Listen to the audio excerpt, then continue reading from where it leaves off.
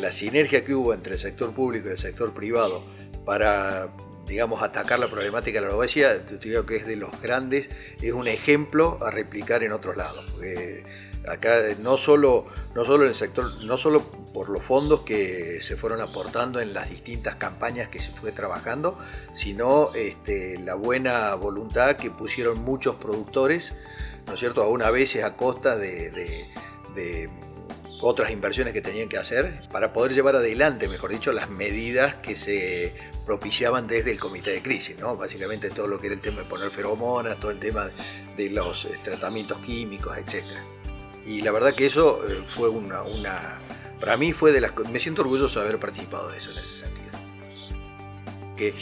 La constitución de ese comité de crisis permitió, ¿no es cierto?, que eh, se pudiera trabajar fluidamente con el Estado Nacional, con el Estado Provincial, este, poder hacer la concientización a la gente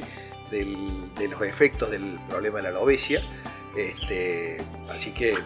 para mí fue fundamental esa constitución de ese comité y que bueno, y por suerte contar también con la presencia tanto de funcionarios de SENASA de nivel nacional, este, que de primera hora estuvieron eh, al frente o, aportando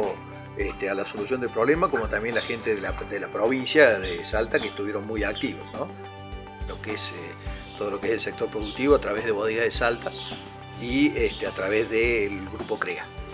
viendo la experiencia de cómo fue que se trabajó con el tema de la lobesia, se podría replicar todo eso en otras, este, en en otra problemática que tiene el, valle, este, y, ir avanzando que el mismo se termine transformando en una zona este, mucho más eh, libre de, libre de mosca, libre de lobesia, libre de todo lo que venga.